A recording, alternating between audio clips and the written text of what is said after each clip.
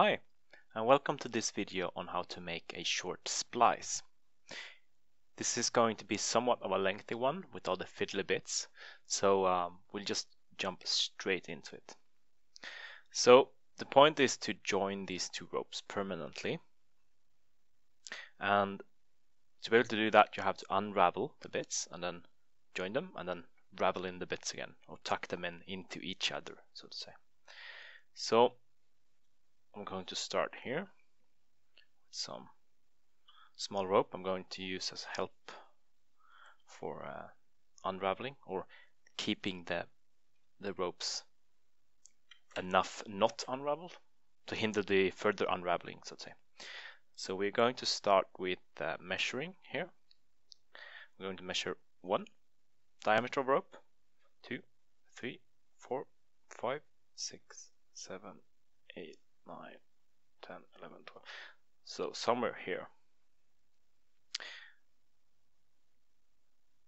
And here I'm going to make a constrictor knot right here, and I'm going to make a constrictor knot right here. And that will be a separate video, I think, in the future. But you can you do like this.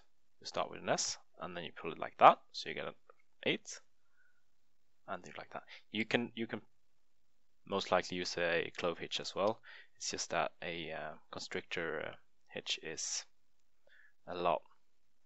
It holds a lot better, but it's also like devilish to try and get out again. So for this application, a uh, constrictor hitch is is good because you don't want this to to unravel. And the way you get out again is by you can't really untie this after you've made the uh, the splice.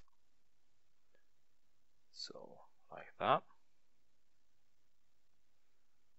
like this. And 12 is actually just something I've read that it should be good. I've never um, measured before, I just go by feeling. What you sh shall aim to do in a modern uh, plastic rope that has lower friction than a traditional hemp one is to get five tucks. And by tucks, uh, I will show you shortly what I mean. But you should have enough friction creating components that it holds. For my application, it doesn't really matter, so I probably won't do. We'll see. I probably won't do all the five. Um, but for for strength uh, application where it's meant to hold really good, then the, the more tucks you have, the better it is. So, and then I'm going to unravel. So I'm going to cut this here because it's a three strand rope. So I just cut three into the melted plastic here. And we'll see how, how well this goes. Well, that wasn't properly.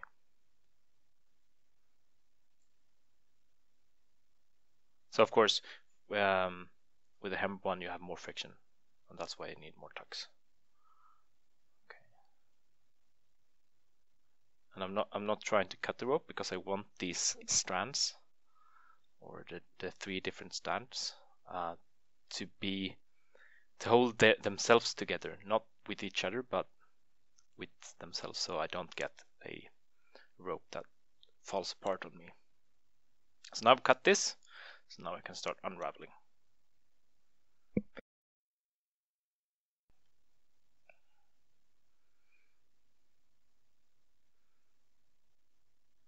And of course, I mean, you can you could tape this here as well.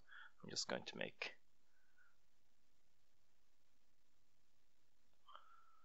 a reef knot here as well, just so I get less uh, ends to keep track of. So I have these, and I'm going to do exactly the same here.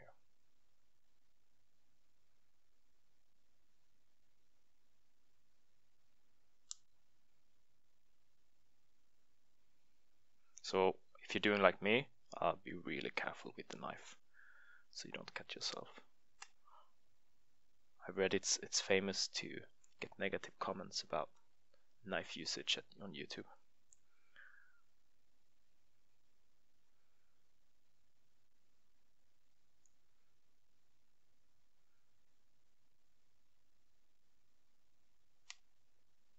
Okay, so like that, and then unravel, unravel, unravel.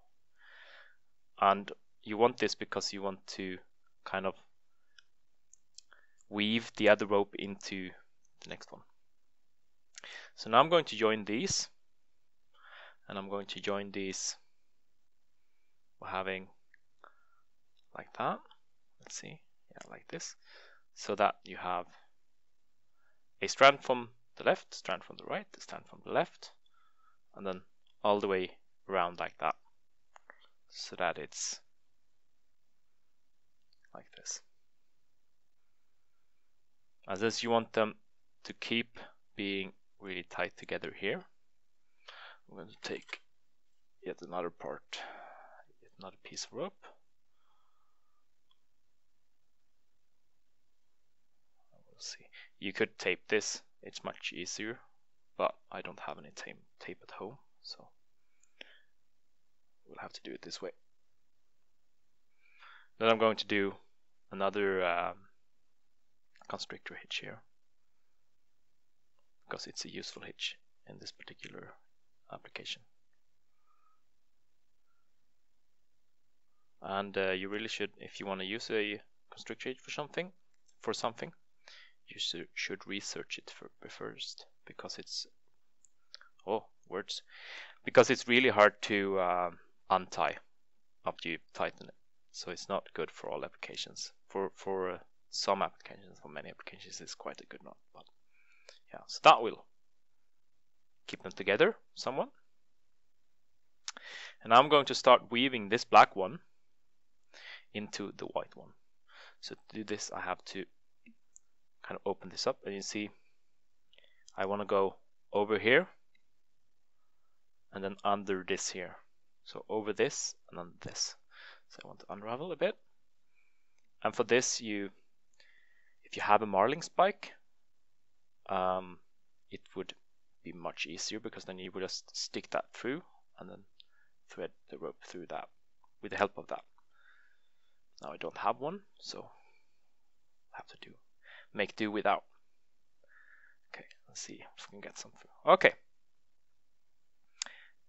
Now the tucking and fiddly bit starts. So now I'm going to do exactly the same with this.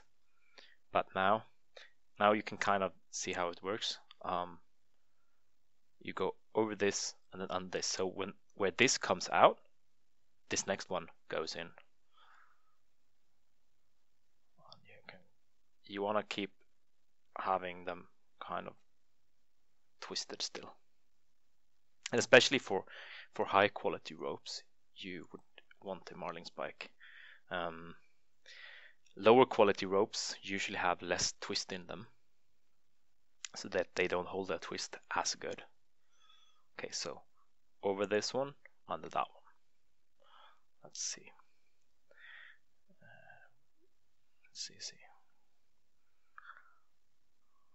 So this is, I would say this is not the tightest of twists, but it's not as bad either as I've seen some of my ropes have been.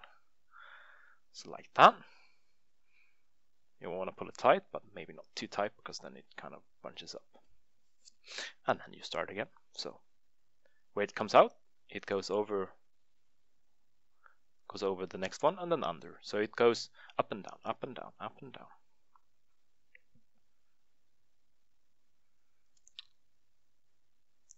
Okay, so you want to pull through, but not not too much, because then you get problems. So short splicing. Short splicing is what I'm doing now. And of course that begs the question, what is a long splice then? Well, a long splice is, is basically, you can see that it, it gets a lot thicker here.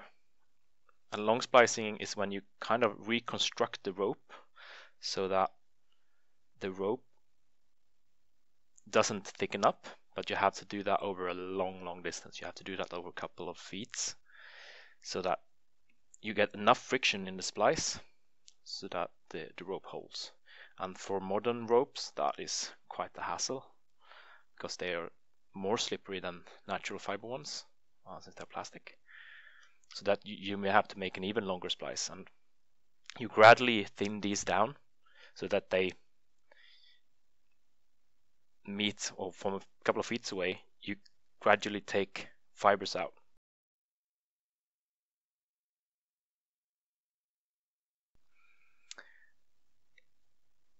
Okay, so now I go again. So now I've done what? One, two tucks. And for nat natural fiber ones, you do want to do at least three. For plastic ones, I think the recommendation is five. I've done an eye splice in an anchor line, and I just did that. I think that splice is a feet long or something like that. So uh, maybe 10 tucks or something because you, you do not want a anchor line to let go of the anchor. That that's is not a good situation.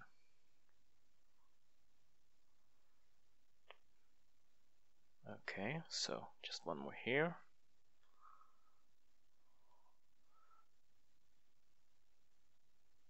Oh, so this is why you would want the marling spike because then it would be much easier.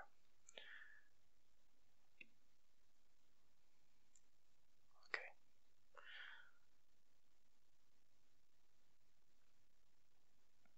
So like that. And now since this is long enough to, to kind of hold itself for a while, I'm going to start on the other end here. So carefully cut this. This is just a sheep string. I think it's a household string that you would use for um, when you're doing steaks in the oven and stuff to tie around there, but I'm not sure. It's just a sheep crap one, uh, sacrificial one. And this one as well before I continue.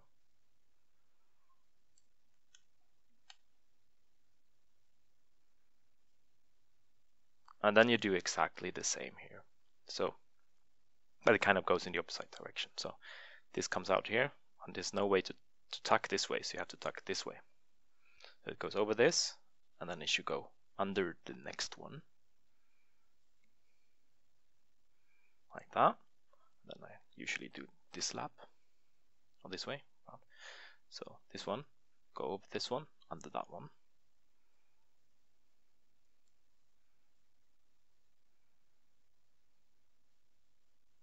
And then the last one to get some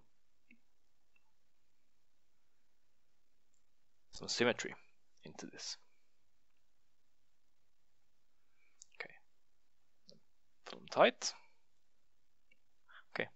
Yeah, I accidentally, I accidentally cut somewhere. Yeah. Anyway, doesn't matter for my application. Um, why would you do a splice? You might ask. Well, for permanent joining of two lines, um, a splice is a good way because it holds quite good. Uh, a knot typically only holds 40. That's a very bad knot too. 65, 70% of the rope strength, while a splice uh, retains upwards of 95% of the rope strength. So if you want to have a permanent joining of two lines, uh, you would do well off creating splice in the rope or between ropes.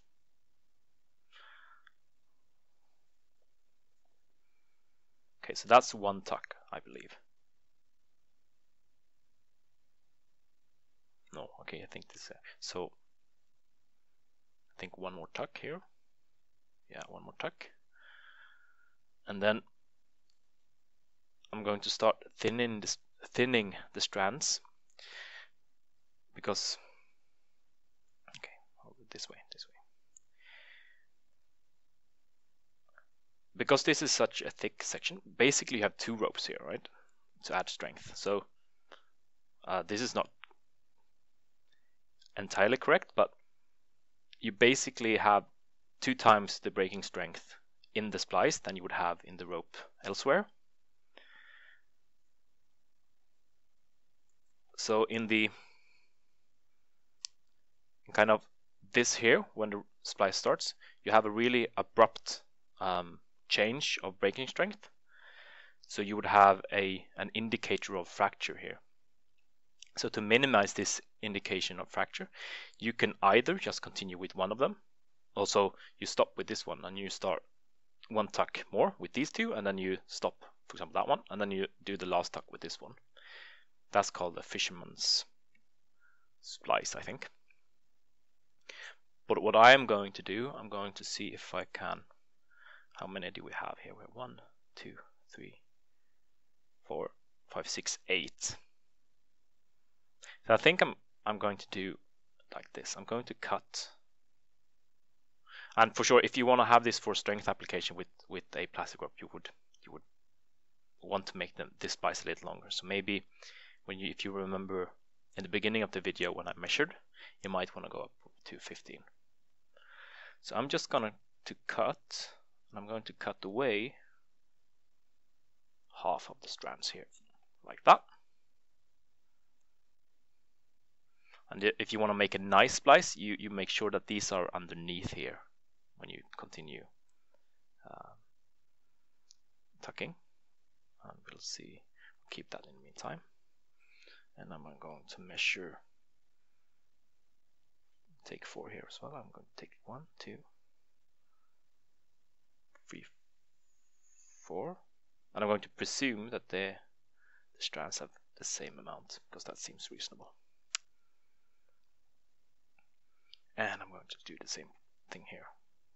And as you can see, I'm kind of trying to see what parts of the strand, or the strands of the strand, if you can say so. So unfortunately, the camera died on me. But what I ended up doing here was I tapered this part, the white part I tapered, so I cut off strands and then continued tucking. And then I did a whipping around to keep keep everything in place. And then on this end, I did a fisherman's splice ending. So it kind of is the same idea that you distribute the loads over a, a greater distance so that you don't get this sharp indicator of uh, break, indicator of fracture. It kind of works, but it works in a different way. Instead, you just taper the whole rope, so to say. So one of the strands end here, the next one end here, and the last one end here. It kind of looks funky, but it's basically the same idea. So that was all. Thanks for watching, and I hope to see you in another video here at Knots and Ropes.